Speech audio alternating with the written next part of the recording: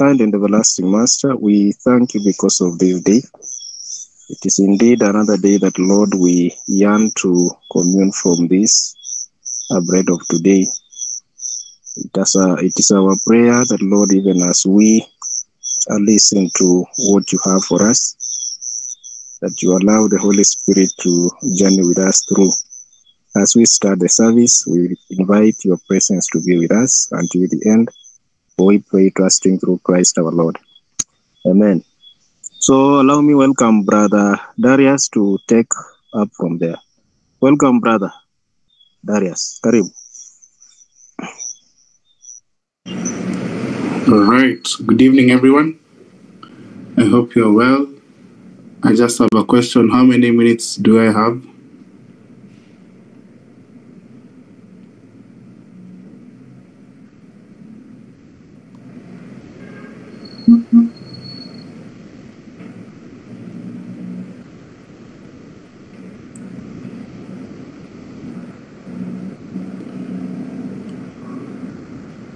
Um, is, is, there, is anyone going to respond? Hello, Darius. yes. Okay, let me respond. I think maybe he's not in a position. You are to present for 15 minutes, then the speaker to speak for 45 minutes. So you are to present between 8 and 8.15. All right. It's already it's already 8.10. So maybe you can give you, you can do 10 minutes between now and 8.20. All right. Thank you. So I'm going to play two hymns or uh, three if time allows. The first one is Blessed Assurance, and the next one will be There is Singing Up in Heaven, such as we have never known. Blessed Assurance, I think it's hymn number 462 in the hymnal. And um, There is Singing Up in Heaven, I think it's hymn number 425 in the Seventh day Adventist hymnal. May we be blessed.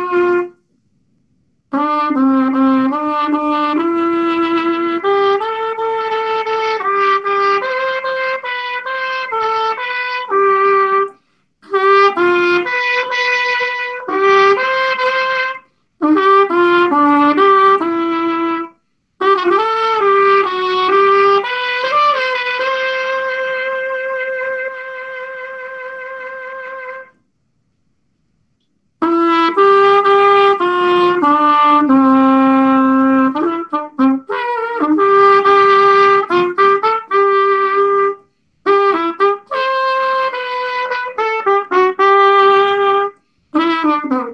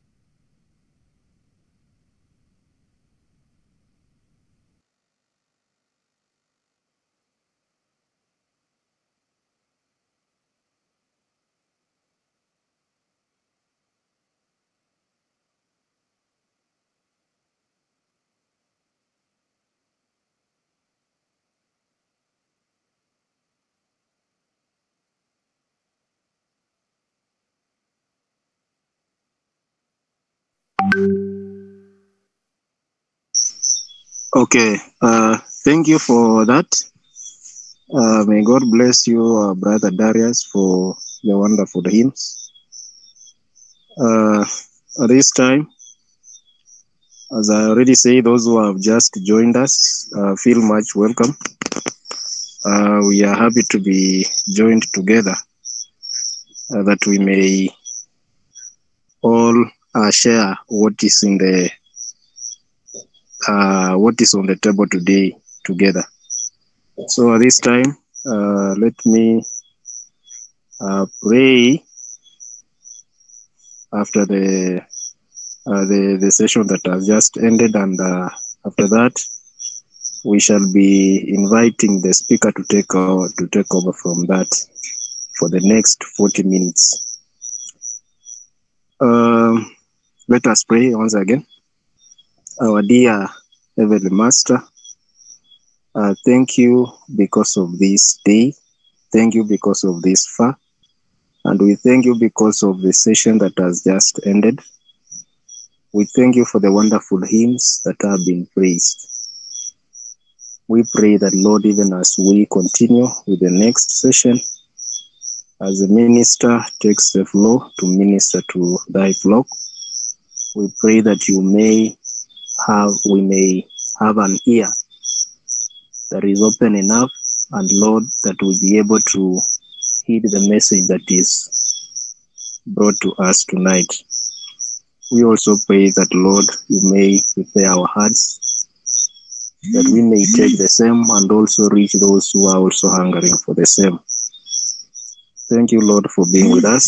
Continue being part of us even as we get to hear from you through today's minister. It is our humble plea in Jesus' name. Amen. Uh, okay, thank you. Uh, let us all feel welcome, even as we get to hear from the speaker. I can see she is in. I will uh, uh, straight away welcome her. Uh, she uh, our speaker. I can see you in. Kindly you are welcome. You can greet us and maybe and uh, take up from there. Welcome. Um, good evening. Um, kindly confirm that you can hear me clearly. yeah you are audible. Actually thank you I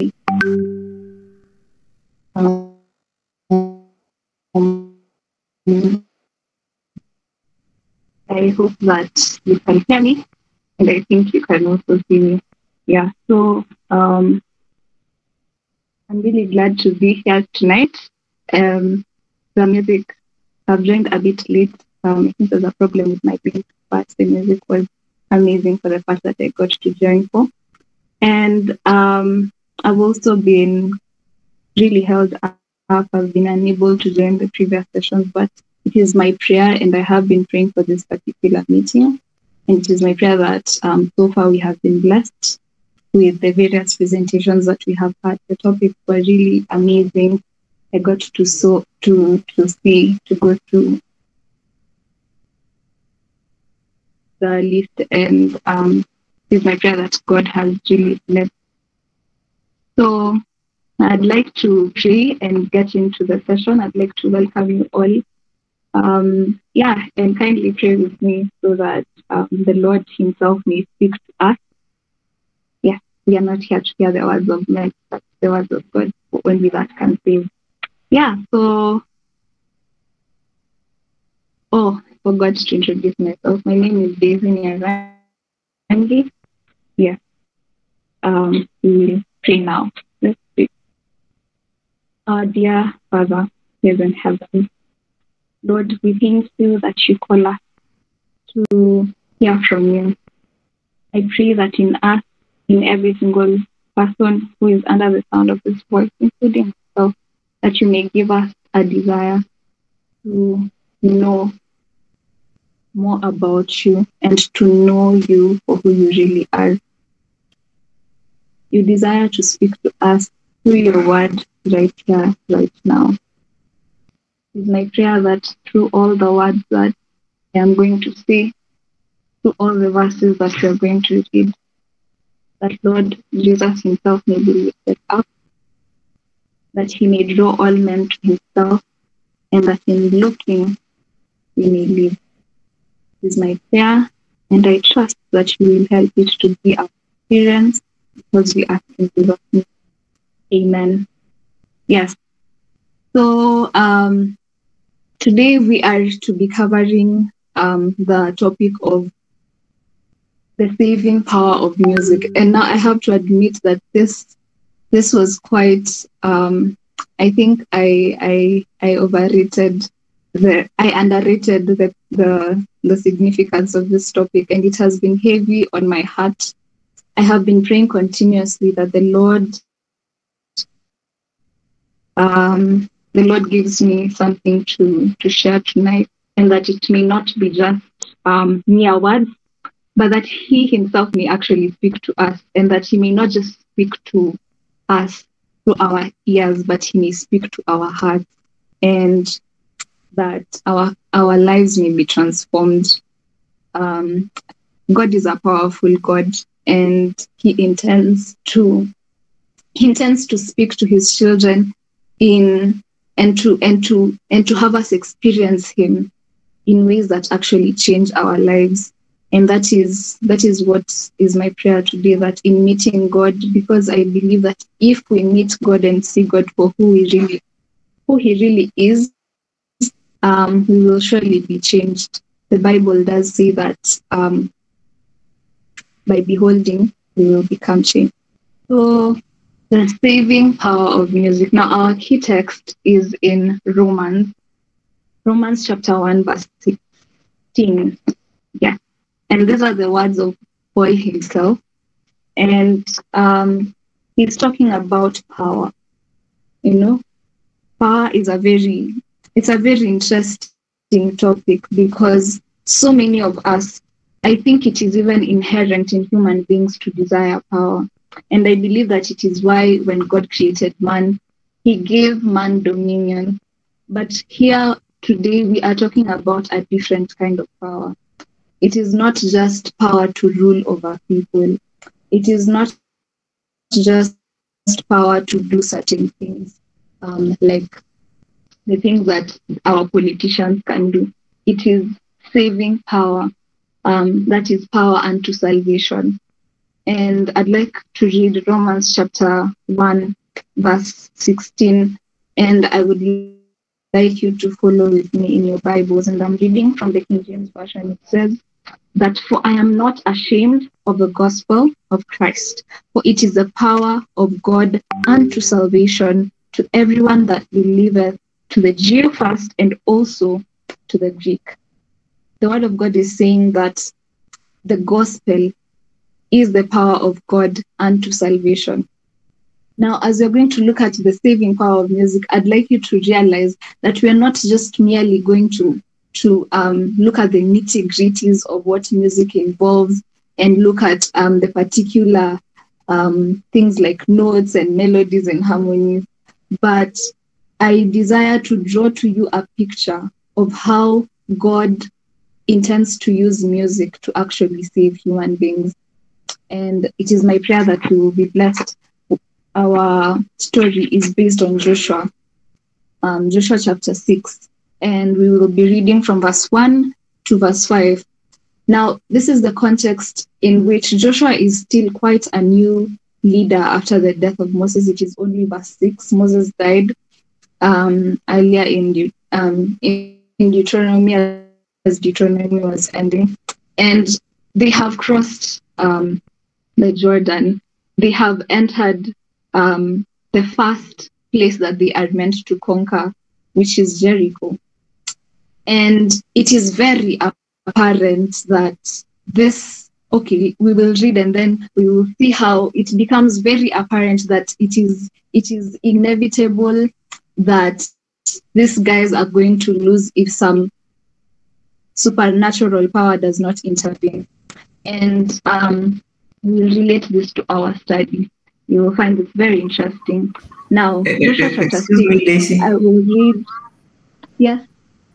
Would, would you mind to, to turn your your gadget? It is giving you inakutoa ukiwa inverted and we are live on YouTube so that it is uh, you can turn it Turn it how? Like you have put it horizontal now iweke iko imesimama okay. Okay. Yeah, Is sure. better? Better now. Okay. Okay, Now. sorry for that. Okay. I hope this is going to turn. Yeah. hmm Yeah. So, um, yes, I was about to read Joshua chapter 6 from verse 1 to 5. That is um, where our our text is coming from tonight. So I will read. Um, it is my prayer that you will follow with me from your versions. Um, Joshua chapter 6, verse 1 to 5. It says, now Jericho was straightly shut up because of the children of Israel. None went out and none came in. And the Lord said unto Joshua, See, I have given into thine hand Jericho, and the king thereof, and the mighty men of valor. And ye shall compass the city, all ye men of war, and go round about the city. Thus shalt thou do six days. Verse 4 and seven priests shall bear before the before the ark seven trumpets of ram's horns and the seventh day ye shall compass the city seven times and the priests shall blow the trumpet verse 5 and it came to pass that when they make a lo- and it shall come to pass that when they make a long blast the ram's horn and when ye hear the sound of the trumpet all the people shall shout with a great shout, and the wall of the city shall fall down flat, and and the people shall ascend up, every man straight before him. Now, um, that that was from the King James version, but I'd like to read my NIV so that you understand um, what verse one is actually um, what verse one in chapter six is actually saying. It says that um, now the gates of Jericho were securely barred because of the Israel Is- Israelites no one went out and no one came in that the the gates of the city or the walls of the city had been had been locked up and no one was coming in or going out. Why? Because of the israelites. And you will read later when you go to the story of rahab that the the people in jericho had had that the israelites were mighty. They had had how they had um, they had gone through the, the desert, the people that they had conquered, and I am sure that their hearts were trembling. And that is why verse 1 is saying that now the, the gates of Jericho were securely barred because of the Israelites.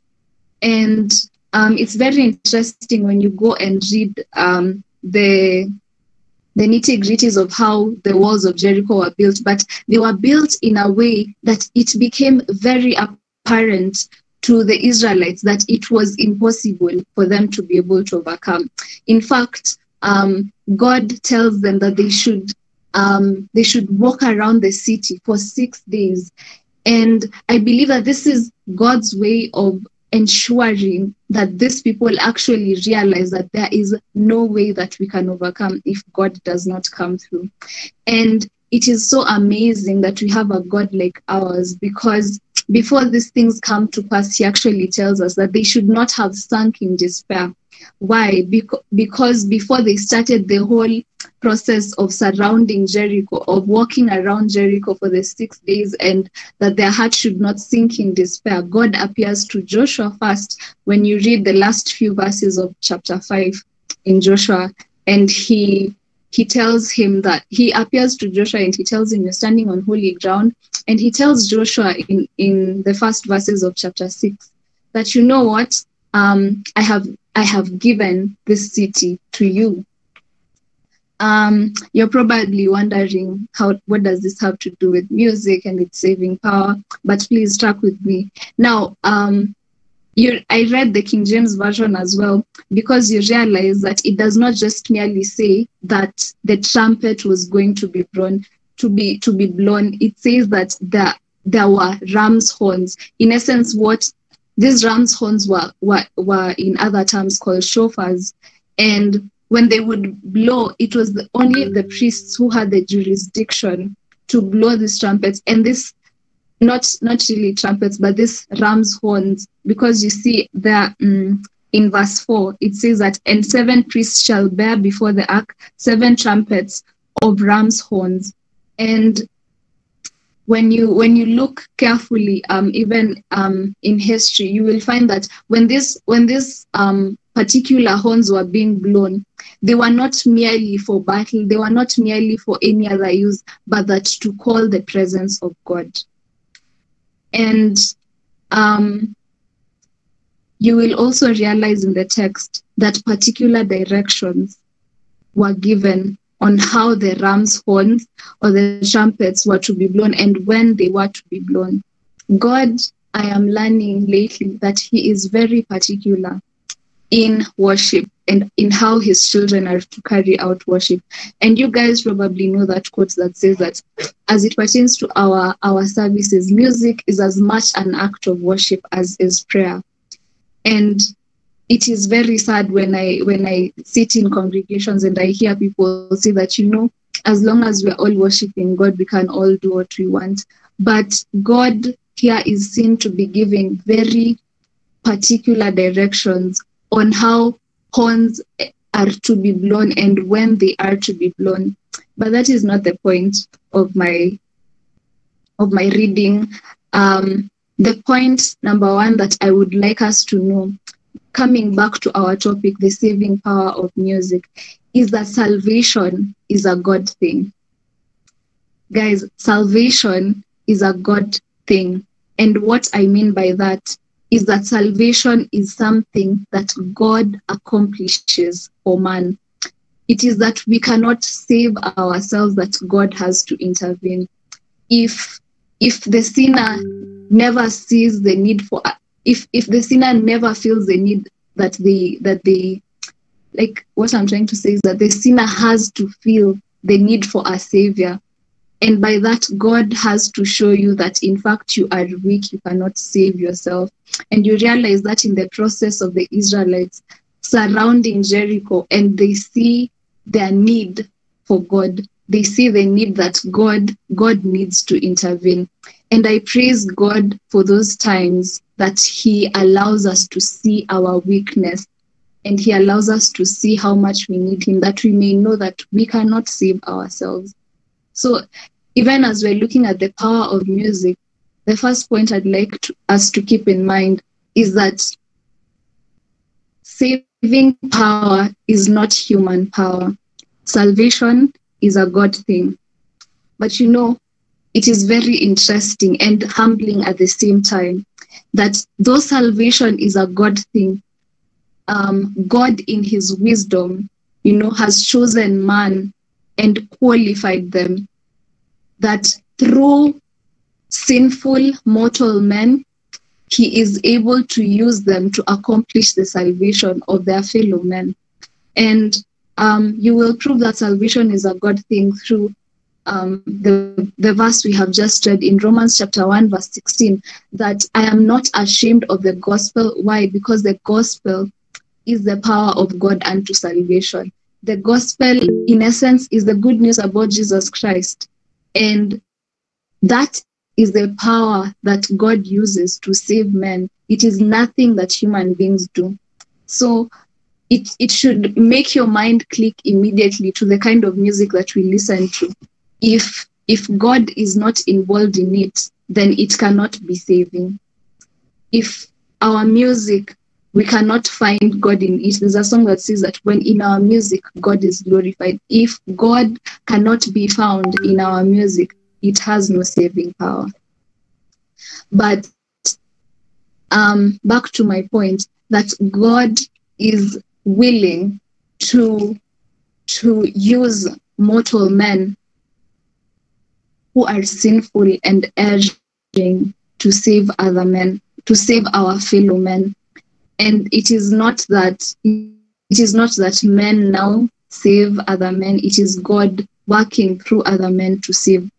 And um, God does this by endowing men with um, with blessings, with spiritual gifts to enable them to to do things like preaching. We know those things are, are of God. And I'd like us to read Ephesians chapter 1, verse 3 as we're building up on this, um, where we will see that um, that it is God who gives us these blessings that we are able to to use. So Ephesians chapter 1, um, verse verse um, verse 3. Ephesians chapter 1, verse 3. The Bible says that blessed be the God and Father of our Lord Jesus Christ, who hath blessed us with all spiritual blessings in heavenly places in Christ. That it is God that gives us all these spiritual blessings that we have. The, the gift of, of singing and music, the gift of preaching, the gift of um, any any gift you can think of, it is of God. But then that that that verse emphasizes that, all these spiritual blessings are given to us in Christ. And you will as well go to James chapter 1, verse 17, and it will tell you that every good and every perfect gift is from comes comes from above and from the Father of lights.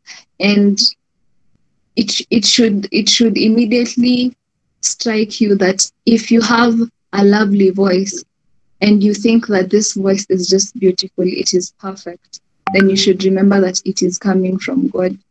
And God God's intent in giving us spiritual blessings is that they may be of glory to Him. And I want us to realize as well through Ephesians chapter 1, verse 3, that God's blessings, the spiritual blessings that God is talking about in verse 3, that they are never given apart from Him. God does not give us His blessings apart from Himself.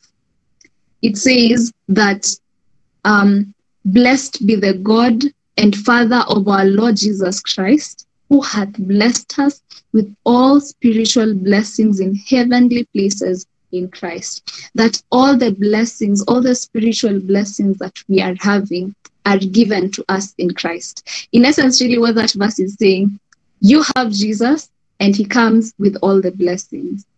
That Jesus is the one who is able to give us those blessings, but he cannot give, give us blessings without giving us himself first.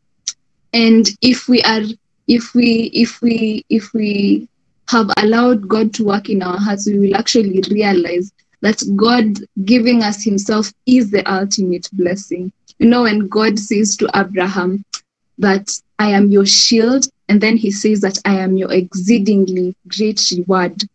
God is the prize. God is the prize, and all these other things are blessings, but the capital B blessing is God Himself.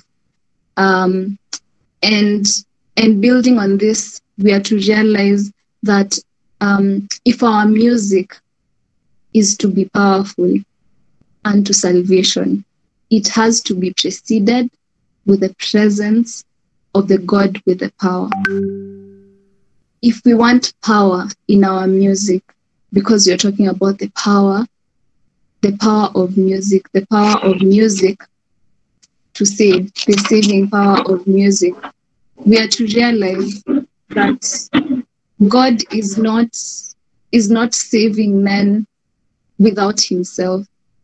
That um, the power that God intends to give us or to to allow to channel through us to save other men is not is not given apart from himself that our music is to first have the presence of god before it can have the power of god unto salvation. I don't know whether we are understanding but if we are um we should probably be typing amen. That this is how the Israelites conquered Jericho. They conquered Jericho not by um, having loud shouts of, of, of the trumpets. They conquered Jericho not by stomping their feet so hard that those walls should have come down. By the sixth day, these guys were surely aware that they could not be able to conquer that city they conquered that city by calling upon the presence of God. That is what the trumpets and the ram's horns were for. They were not for making a shout loud enough like an earthquake to crack those walls. That cannot be attained by the power of those trumpets. No. It was by them calling upon the presence of God, which came with power and brought the walls down. This is how the Israelites conquered Jericho, and it similarly will be how we will conquer sin. Because I believe that when we are talking about the saving power of music, what are we being saved for, from? We are being saved from the power of sin. And, and thus, the power that we need should be greater than sin. And that power is the power of God Himself. But as I am continually repeating, because repetition deepens the impression, it is that God gives us Himself, gives us His presence, and His presence comes with power. Amen. That when when you read the Bible, when you read Acts chapter 1, verse 8, Jesus tells his disciples that ye shall receive power after that the Holy Spirit is come upon you. That power, the power that came with how the the the disciples preached on that day of Pentecost, that they were able to convert 3,000 men, came first with the presence of God through the Holy Spirit. And when the Holy Spirit came, the Holy Spirit came with the power the promise the promise of God's power is always ever under the premise of his presence. I will repeat that statement again that the promise of God's power is always ever under the premise of his presence. It is his presence that comes first that we may have his power. But it is so sad that men want power aside from God. Men love the gift more than they love the giver of that gift. Men will be so quick to sit in a congregation and say amen to a, men want powerful voices but they don't want the god who gives those that powerful voice and if that is our attitude towards music or any part of worship, our worship will never have saving power. We have removed the Savior. There can be no saving. And the reality as well is that some of us, our intent in, in music is not salvation. It is not unto salvation. It is unto the glorification of men. It is so sad that our pulpits have become like the modern day Tower of Babel, where people are are trying to make a name for themselves instead of glorifying the name of God. And friends, the reality of, of Babel is that it fell, and the reality of the glory of man is that as well it will surely, it will surely fall. Now, I want to come to the conclusion of this message, and I want to relate it now very directly with our music. And I want to remind you all the times that music has been has been used in the Bible. In this particular time in Jericho, when the trumpets and the ram's horns were were um, directed to be played, you will remember the story of Jehoshaphat in Second Chronicles chapter 20. Again, the trumpets had to be played and the musicians went there went to battle. The, the choir was in front of the army you know? And and all all of these times it is not that this this these musicians were very powerful. It is not that they had amazing skills. Now skill is important but skill is unprofitable and it cannot save without the savior and I want us to realize that in in this very very sense that in these last days, um, whether symbolic or literal, God has ordained men to give the trumpet a certain sound. I say symbolic or literal because yes, there is an instrument called the trumpet that it should be given a certain sound, even as God was particular with um, with the with the Israelites in Jericho, he he was particular on how that that ram's horn was to be blown, and even up to now, God is particular with how we are playing our music. But friends, the trumpet as well that the pen of inspiration talks about is that men are to give the, the trumpet a certain sound in the sense that we are to we are to proclaim the word of God, the gospel that is unto salvation with certainty, with clarity, and with sincerity. That God is requiring of men today to give our trumpets a certain sound. That through pen, voice, which may be singing, preaching, playing, and even through any instrument of music that we have, and even through our own bodies, which are instruments in the hands of God, we are to call on God's presence, who has the power of salvation. Just as those musicians, not really even musicians, just as those priests were using the, the horns to call upon God's presence, even us today, as the Bible says that we are we are a royal priesthood, we are a holy nation. God is requiring that we may give our trumpets a certain sound. That through our music, God may be glorified. Through our lives, through our actions, whatever it may be that God has placed in your hand, any spiritual blessing, that we are to give God the glory in our music, that our our worship is to be calling men to the presence of a saving God. The saving power in music is music that invites God's presence that men may look and live. I will repeat that statement again. The saving power in music, which is our theme today, is music that invites God's presence, that men may look at Him and live. Because only God has the power of salvation. I will read the Bible um, the very words of Jesus, the Savior himself, in John chapter 12, verse 32. John chapter 12, verse 32. Then I will join it with John chapter 3, from verse 14 to verse 15. John chapter 12, verse 32 says, Jesus is speaking, and he says that, and I, if I be lifted up from the earth, will draw all men unto me.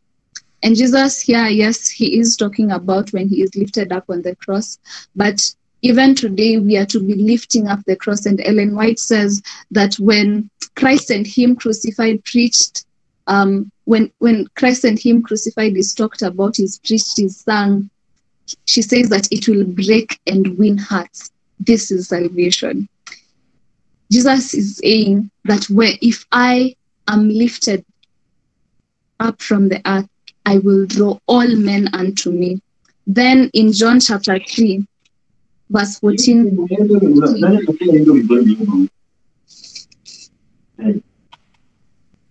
John chapter 3, verse 14 to 15, it says that, and as Moses lifted up the serpent in the wilderness, even so must the Son of Man be lifted up, that whosoever believeth in him should not perish. inaitwa sijui ni Eternal life.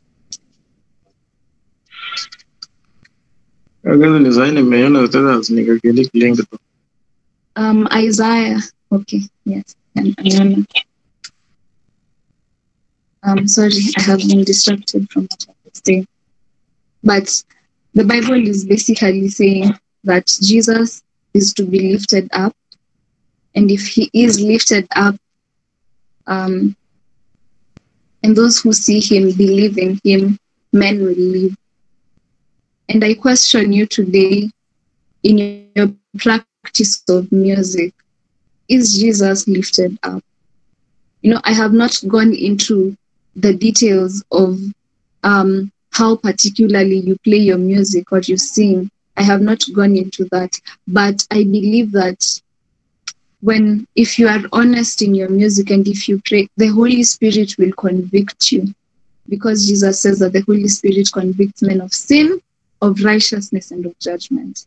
Now I ask that as you as you sing, as you minister, is your purpose to lift up Jesus?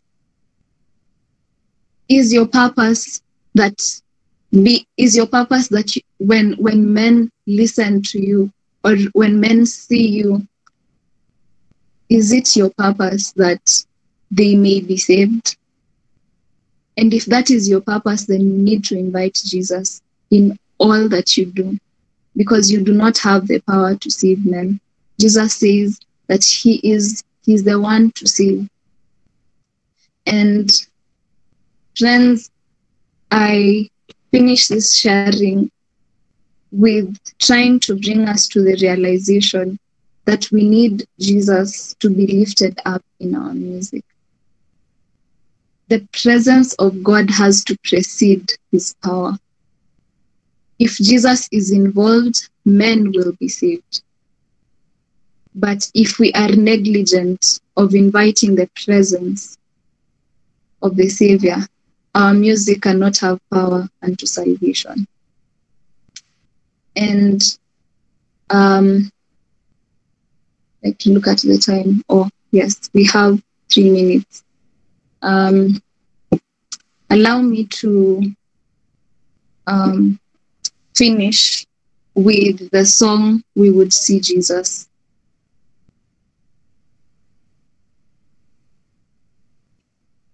It's hymn 494. And it is my it has been my prayer for the longest time. And um, I'd like it to be our prayer that anytime we are doing music, if we if we if we really want our music to have saving power, then are we seeing Jesus? We need to invite him. Yes, so I will do the song hymn 494.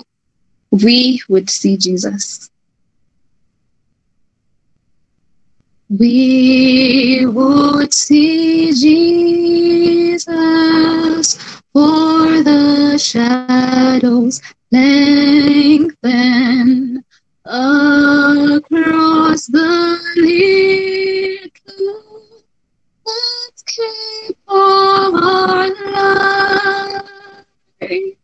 We would see Jesus, our weak faith to strengthen for the last conflict in this mortal strife.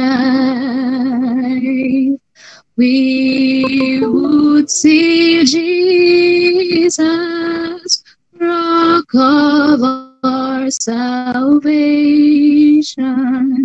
where on our feet set with sovereign grace.